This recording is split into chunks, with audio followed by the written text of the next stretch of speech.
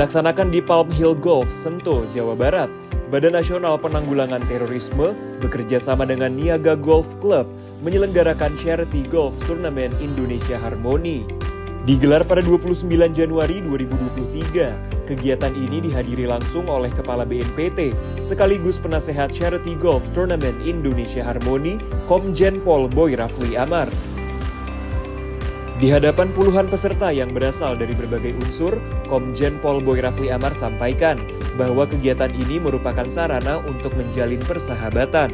Kami bersama dengan teman-teman saya dari BNPT yang juga ada beberapa pejabat yang hadir, selalu kita mengajak semua pihak kegiatannya apa pun kita upayakan.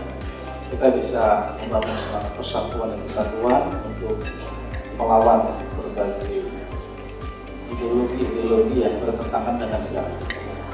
Hari ini dengan tema olahraga. Jadi dengan olahraga ini kita berharap tentu semangat persatuan kesatuan kita kita bisa bangun dalam rangka merawat keindonesiaan kita.